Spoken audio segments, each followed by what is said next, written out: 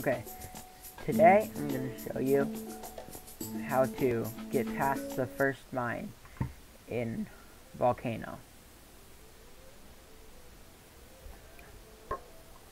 It's actually pretty easy.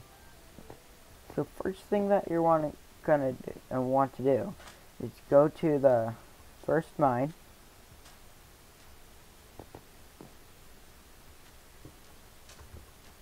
I would say get about 10 pieces of cobblestone. You can get more.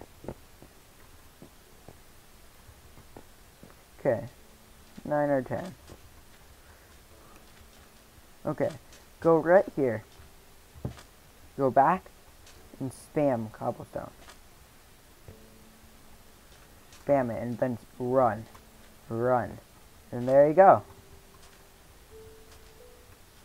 You're in the next mine you're gonna have this weird thing where it says get volcano pass still, so but still you're in the next mine. See? And that's how you do it. And tell tell me if you want me to find a way to get into the next mine, the iron mine. You could let me know by liking this video. Okay. Thank you. And bye.